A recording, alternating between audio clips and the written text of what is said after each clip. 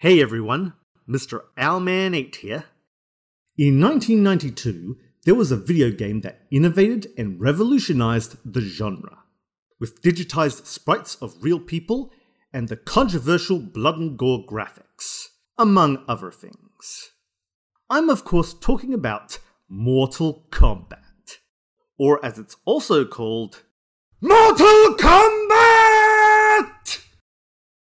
The franchise is still going strong after dozens of games, spin offs, crossovers, etc. So, to celebrate the 30 year run, I have made a top 50 fighters of Mortal Kombat.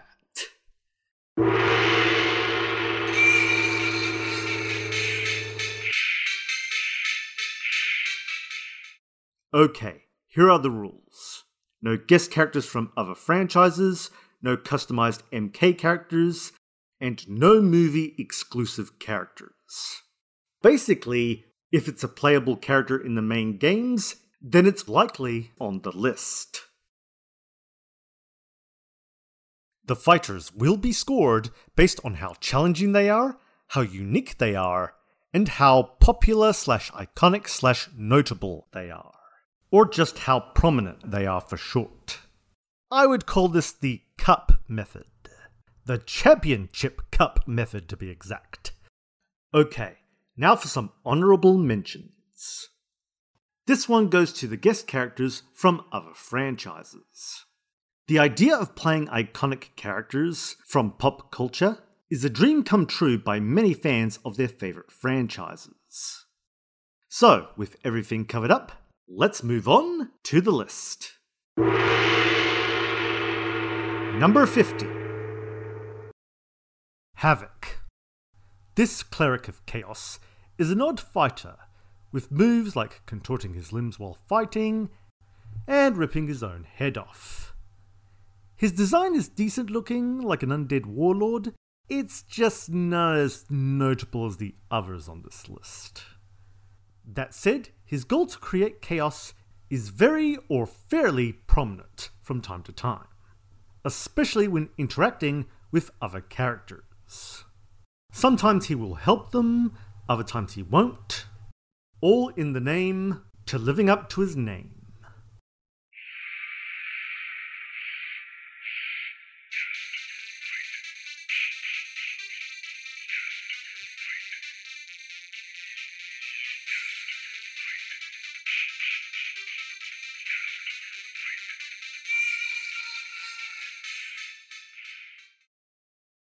Number 45 Cyrax, a great assassin of the Lin Kuei who later has cybernetic enhancements, making him a far more formidable fighter, as well as shooting bombs, nets, etc. While others do possess his design, it is still fancy enough to be on this list. Cyrax's involvement with the Lin Kuei involve relations with the likes of Kuai Liang Sub Zero, Smoke, and Sector. He goes through a lot of stuff, being turned to a cyborg, hunting down other Lin Kuei to be cybernized, having a change of heart from time to time, as well as having a feud with Sector. Oh, and he worked for a vampire at one point.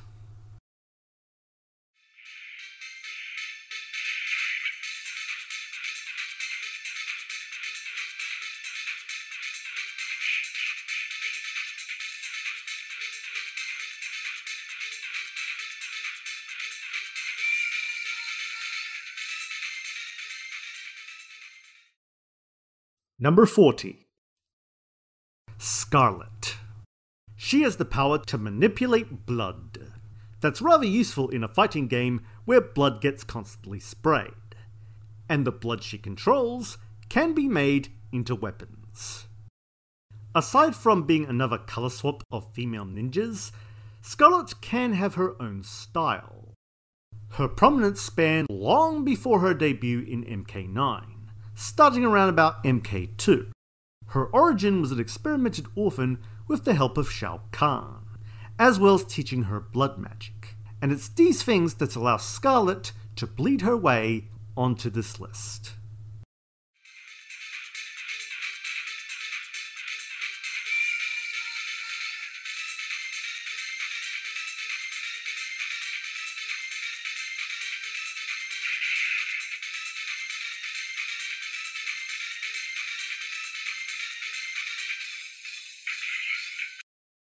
Number 35 Erron Black. Come on, he's basically a ninja cowboy. Not only does he have sand based weapons, but practical weapons, such as guns.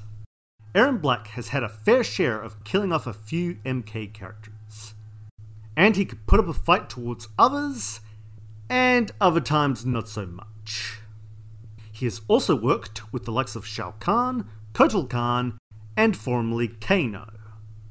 While he is from Earthrealm and from the Wild West, he has been in Outworld for over 150 years. This is thanks to Shang Tsung giving Erron the power to slow his aging. And that is why this Wild West warrior whisks himself onto this list.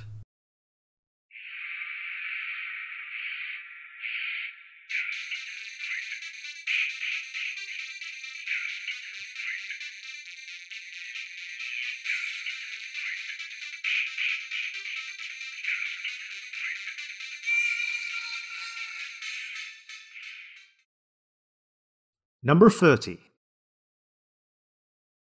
Kabal. A former cop that's been through serious injuries and shady organizations. As a result, he's become a fast moving, hook blade wielding cyborg. Kabal has taken on the likes of Noob Saibot, Mileena, as well as Kano. That said, he has been beaten by other characters such as Sindel and Kintaro. Kabal can outmaneuver his opponents and with his blades, that makes him more deadly of a fighter. His design is rather good, rugged, mysterious looking, with a dash of Mad Max. This fierce fast fighter speeds his way onto the list.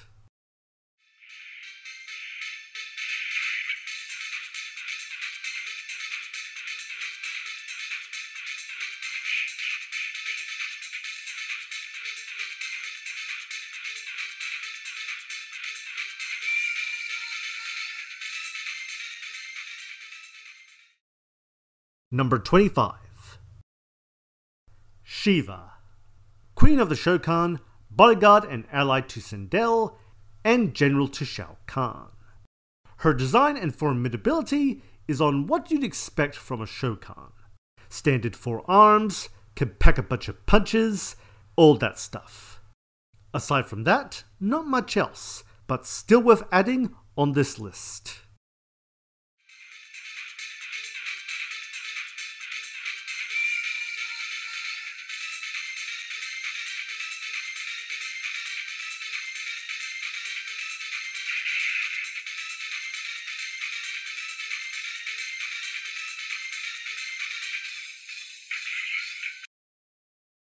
Number 20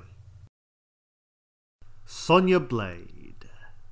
The first woman to enter the franchise and is a formidable fighter with her kisses of death, plus her gadgets and, of course, her legs.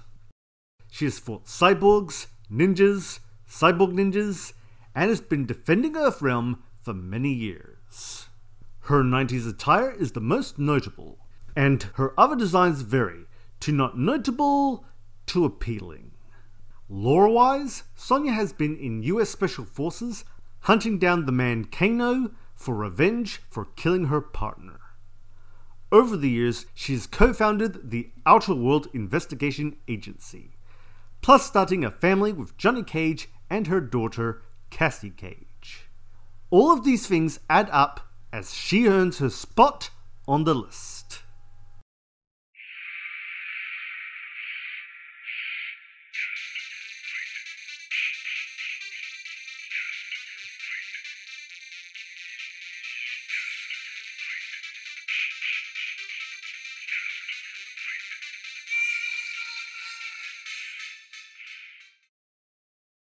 Number 15 Kung Lao, or Kung Lao.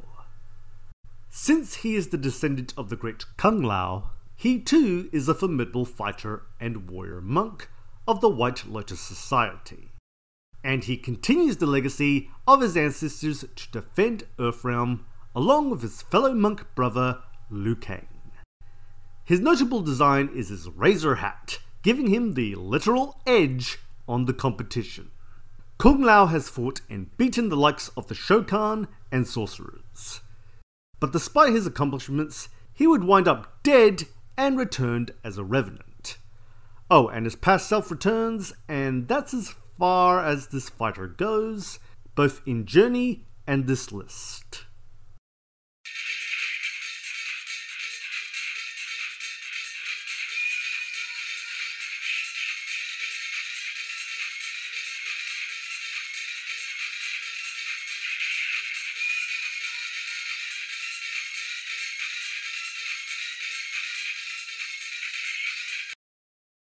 Okay, now for the top 10.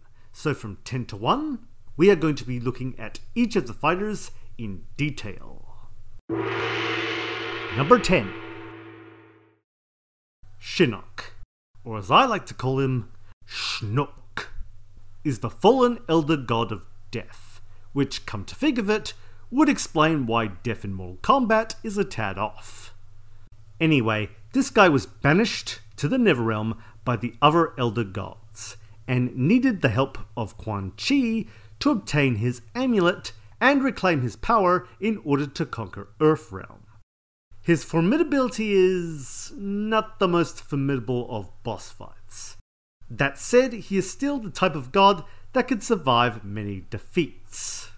His design is, well, almost on the lines of. It reminds me of Gary Oldman as Dracula. Other designs are Regal and his corrupt form. Well, they really wanted him to be Balrog from Lord of the Rings. Anyway, that's his spot right there. Number 9 Blaze. This guy has the power to end it all and is a major staple in Mortal Kombat Armageddon, with his immense power as a prize to a victor who can beat him. His design is decent, from Man on Fire in the background to Lava Golem front and center. Sadly, not much can be said about this character. Nevertheless, Blaze blazes his way onto this list. Number 8 Onaga. He is the Dragon King of Outworld, an entity so strong he could even beat Shao Kahn so Shao Kahn had to beat Onaga by poisoning him. But that didn't stop Onaga from concocting his biggest conquest. By obtaining the Kamidogu, he can merge the realms together and become an all powerful being. Of course, this was foiled by the very person he was manipulating throughout the story Shujinko. His design is rather good. He's got a tail, wings, horns, and of course, he can breathe fire. He was also able to create undead stone soldiers as part of his army. This powerful primordial being packs a punch into this list. Number 7 Johnny Cage. Johnny Cage. From Hollywood action star to defender of Earth, this guy can put up a fight both on screen and off screen. With his shadow kick, to his crotch shot. And as controversial and illegal as that move is, may I remind you, aside from being out of the jurisdiction, he is at a fight to the death tournament with his world at stake, with ninjas that can perform mystical feats, and a brute with four freaking arms. While one of the most human looking characters, he has the humor, pizzazz, and charisma to be notable and a big stable in Mortal Kombat lore. Furthermore, he has gone the distance from battling ninjas to gods. And not only does he have ancestral powers of a mystical war tribe, he also has a legacy, as later on he starts a family with his wife Sonya Blade and later their daughter Cassie Cage. This, of course, earns him a high spot on the list. Number 6 Shang Tsung. This Lo Pan esque villain is an interesting concept. Instead of going after girls with green eyes, he absorbs souls. This big bad of the first game can masquerade and copy the abilities of fighters from the tournament, as well as his own character design spanning from young to old, and, well, you get the idea. Using his cunning and sorcery, Shang Tsung has definitely been around the block, spanning from multiple games and allies with the worst of the worst for thousands of years. He has won many MK tournaments and obtaining ultimate power that can conquer the universe. This sinister scheming sorcerer earns a high spot on this list. Number 5 Shao Kahn. Kahn! This fusion dance product of He Man and Skeletor is a conqueror of worlds and emperor of Outworld. With a backstory involving a former ambassador of the Elder Gods and former chief advisor to the Dragon King Onaga, this fighter has been very prominent in Mortal Kombat lore, with many Mortal Kombat characters working with him, including Shang Tsung, Sindel, and many others. He fights like a tank, bashing his enemies with his Wrath Hammer. With a multitude of powers, including soul absorption he can even survive deadly blows, making him one tough nut to crack. In Armageddon, he almost wins and wielded the power of Armageddon in the original timeline. In the new timeline, he was stopped. Then in MK11, his past self returns through a time portal and reclaims his kingdom. Truly a battling beast of barbarity. Number 4 Liu Kang. This seemingly simple character has an extraordinary track record. He won two Mortal Kombat tournaments, can turn into a dragon, was killed and came back as a revenant, then fusing with his past self and became a god. That's rather unique in terms of journey. With those accomplishments, he is a very strong character and is very prominent in Mortal Kombat lore, to the point he could shape the realms, and can perform a kick ass bicycle kick. This definitely earns his way onto the list. Number 3 Sub Zero. Mostly the Kuai Liang version, but generally the mantle itself. He has quite a good history, strong lore with the Lin Kuei, as well as his rival Scorpion. Beloved by many fans and literally the coolest character with the coolest moves and fatalities. He has taken on fellow ninjas and battled Scorpion for years, and sometimes protected by Scorpion. And much later, they reconcile their differences, plus Sub Zero becomes the Grand Master of the Lin Kuei. His temperature on ice powers are low, but his score is high on this list. Number 2 Scorpion. Now, why he is higher than Sub Zero are the following 1. He is the poster child for Mortal Kombat. 2. There is only one Scorpion and not two like Sub Zero, making him more special or rare. And free, He seems to hold his own as a character. This Netherrealm ninja has a very long backstory and solid lore behind him. His rival with the Lin Kuei, his long running feud with Sub Zero, his manipulation from Quan Chi is known throughout the series. Plus the iconic kunai with rope, which gives him that scorpion flavor, along with his famous get over here line. And as he takes off his mask, he becomes a fire breathing skeleton. Pretty kick ass. He has also taken on sorcerers, demons, cyborgs, among other combatants in Mortal Kombat. Which is why he is very high on this list. Number 1. And the number 1 spot for the top 50 fighters of Mortal Kombat goes to. Raiden defender of Earthrealm, and has guided and mentored many warriors from Set Realm for centuries.